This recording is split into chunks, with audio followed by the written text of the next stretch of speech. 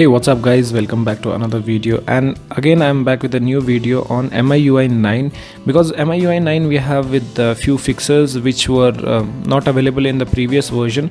So this is miui rom beta global edition. And it is it comes pre-installed with google play store. So you don't have to download google play store or use any other method to uh, install google play services. So this ROM is uh, pretty stable as of now. I'm using on my oneplus 3 i'll also show you how can you install this and what are the few bugs which i found on this device as of now. What are the things which are not available according to the previous rom which was not at all stable which had uh, issues related to camera and media.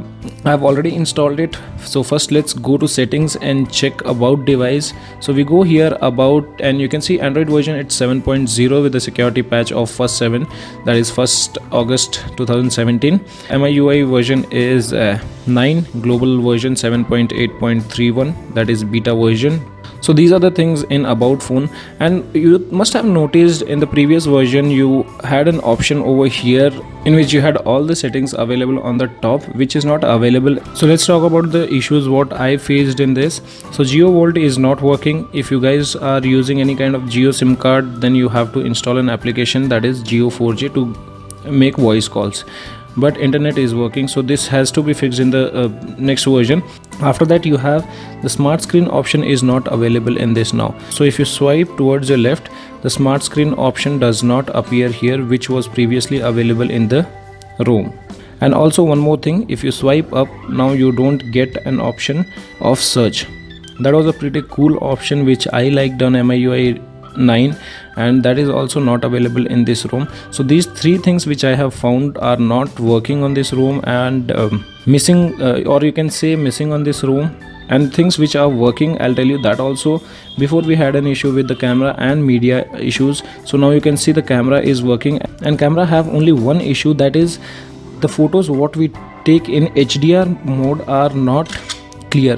So this is the photo which i have taken in hdr and now i turn off hdr and show you the images. So this is taken without hdr and this is taken in hdr and one more photo which i have is which i took while using hdr so this is that photo uh, taken and you can see the photo is not at all clear. So only one issue that is hdr is not working. After that if you go to sounds you have a working sound available here without any issues let's see notification slider. Notification slider still doesn't work on this ROM so these were the issues and uh, fixes what they have done on this ROM so now let's take a quick look on this uh, ROM so if you tap or hold home screen uh, it says home screen is locked so you just pinch in and you get few options available here. So under which you have wallpaper widgets widgets it has lots of widgets available in this. After that you go to settings. You have transition effects default screen setting autofill lock screen and more options available here. Under more options you can see fill empty cells lock home screen layout. So if you enable this it will lock the home screen and you won't be able to move any application to the different screen. And in this you have one more option. That is you can shift all the icons together to the different screen. Whichever you want you can select all of them and hold them. You can make them move to different screen in one go. So you don't have to select each and every time. You don't have to select different different applications. After that split screen uh, is also available. You can see uh, if you tap recents you get an option of split screen mode. You just tap this again and you can move any of the applications over here. And the applications which does not support split screen you'll get a message like this app does not support split screen mode. You also have an option to quick switch so if you double tap the recents it will quickly switch to the last used application. So these are the things available in this ROM I don't want to make a complete review because I had already made uh, what are the features available in MIUI ROM so that link I'll mention in the description and I'll also mention the download link in the description. So now let's take a look at the installation process. So you don't have to do anything you just have to uh, have a TWRP recovery installed on your device. And I'll tell you uh, what are the things required in TWRP recovery. So make sure TWRP recovery is installed. If you don't have you can just let me know in the comment section below. So first what we do is we reboot a device to TWRP recovery so once your device boots to TWRP recovery I'll show you the settings what I have now because a few of them uh, told me in the MIUI 9 that uh, you require ext4 yes that ROM had uh, issues with f2fs so we had to switch to um, ext4 but in this I'll show you which which one I'm using. So I go to data repair or change and you can see I'm using file system as f2fs so no issues with that. You just have to normally go back and if you are on ext4 uh, try flashing it but if your device doesn't boot up you can switch to f2fs so i go to wipe advance and i clear everything including system also. I leave internal memory because i require the rom which i have placed inside the internal memory. I swipe to wipe and after that i again go back go to install and i'll flash the MIUI 9 so this is an alpha 2 build you can confirm to flash. So once the process is completed just hit reboot system and wait for the device to get reboot.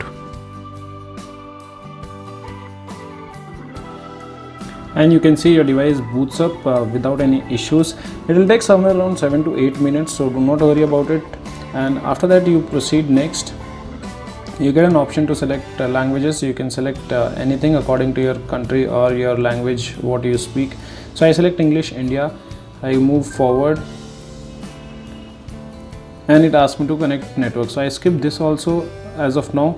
I go forward. I skip uh, SIM card also. Next you get an option to install your Google account. So I click on no. You can install everything from here itself. You can use your Google ID skip this step.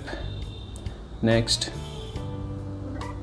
and after that you get an option to select the theme. So if you want new look you can select limitless and select this move forward and just wait. Theme applied and setup is completed so you click next and you can see the home screen.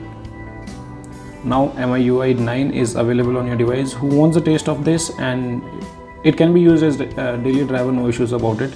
Few fixes uh, like Jio volt and all these things need to be done. So you may get in the next build. And if i'm able to fix that issue of volt i'll do make a video. For the complete change logs and fixes you can just check the description below. So as of now that's all in this video guys. Uh, if you like the video do give me a thumbs up. And if you're new to my channel do not forget to subscribe the channel. Thanks for watching. Have a great day